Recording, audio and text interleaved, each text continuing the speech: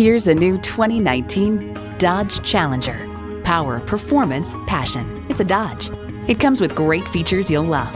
V6 engine, gas pressurized shocks, aluminum wheels, streaming audio, power heated mirrors, dual zone climate control, external memory control, leather steering wheel, smartphone wireless charging, and automatic transmission. If you've been waiting for the perfect time for a test drive, the time is now. Experience it today.